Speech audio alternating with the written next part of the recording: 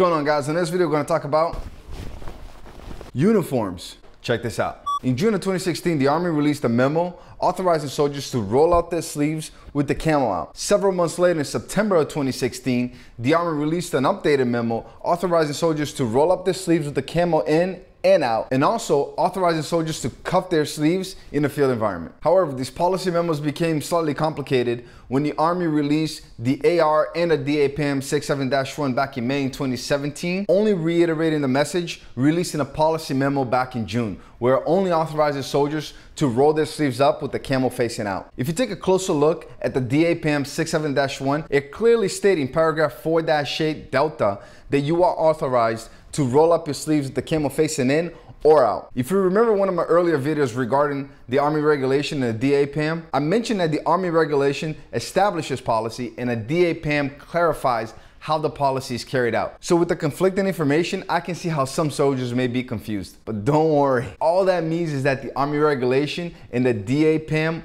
was written prior to or during the same time the policy memo was released and that the memo never caught up with the new regulation. To clarify, you are authorized to roll your sleeves with the camo facing in or out, and you are authorized to cuff your sleeves in the field environment. If your local command team does authorize you to roll up your sleeve, ensure that it's above but no more than three inches above your elbow. In paragraph 4-3 in the Army regulation, it further states that you are not authorized to wear your uniform on off-post establishments that primarily sells alcohol for consumption in the establishment. If the establishment sells food and alcohol, as long as the primary function is not to consume alcohol at the establishment, you're good to go to wear a uniform. Either way, be respectful, be professional when wearing your uniform in public. The policy also states that the uniform is normally not considered appropriate for wear in social gatherings such as weddings,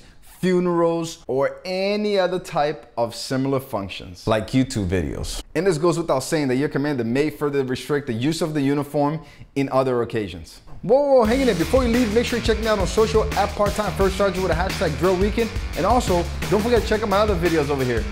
Check, just pick one of these. It's pretty cool. I mean, I liked it.